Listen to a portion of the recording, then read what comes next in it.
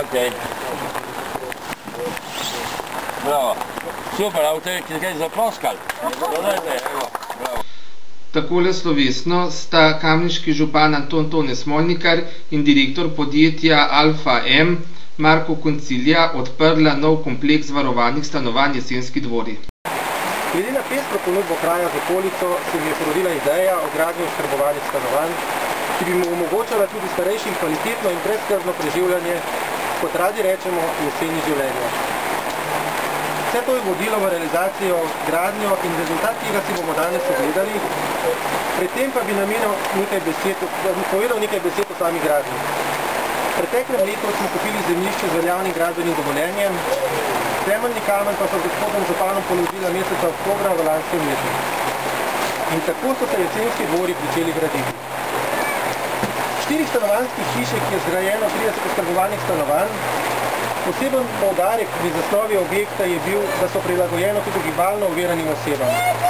Se pravi, širša vratna odprtina, vsak objekt seboj dvigalo, senčila se upravljanja na električna stikala, prav tako so prilagojene tudi sanitarni prostori in balkonska vrata.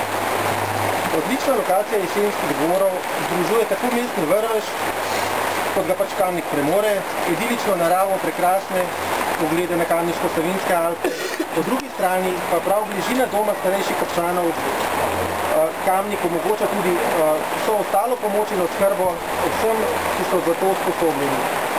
Kaj vse vam lahko nudijo je natančno opisano v naših združenkih, ki smo vam v ta namen pripravili pred pričetkom gradnje. V vsaki od hiš ostaja tudi prostor za skupno preživljanje prostega časa, prav tako je tudi prostor v atriju. Predno pa se vsem zahvalim, bi se red zahvalil še posebej izvajalcem. Predno pa se jim osebno zahvalim, bi prosil gospoda župana za par besed.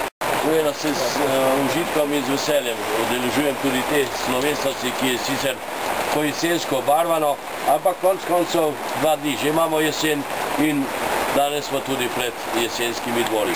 Mislim, da je to čudovito ime, ki ima veliko simbolike, predvsem pa simbolike, da je to za preživljanje, da so to območ, da je to območje in stanovanja za preživljanje tistega jesenskega dela življenja.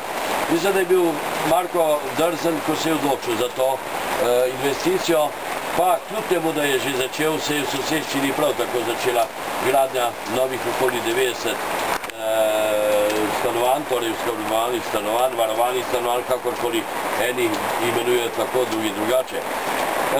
Jesen življenja postaja vse daljša, to vemo, to povejo statistike, ne samo v Evropi, tudi pri nas v Kamniku, ker mnogokrat sem bil v teh letih v domu starejših občanov, ko sem pozdravljal ali čestitev in dal skromno darilo stoletnikom, pa še tudi kakšno leto, če je recimo letos bilo 101 leto ene prebivalke doma.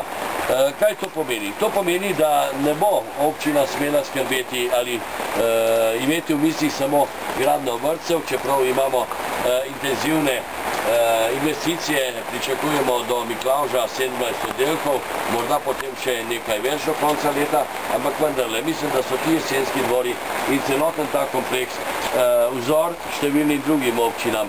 Kajti vzor smo bili že nekdaj. Majko, čestitam smo tvoji ekipi in seveda tudi izvajalce, ki so v rekordnem času, tako kot tam na južnem delu, izvajalci oziroma gradbinci vrtca Zarja, rekorderji in mislim, da ste lahko še naprej za zdaj. Hvala lepa.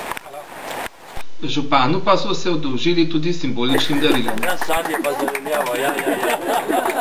Evo, pa ne bo vidite, kako krvi dobro zagajate. Jaz sem avto zato čez zraven parkiral, pa nisem vedel, da je to tako.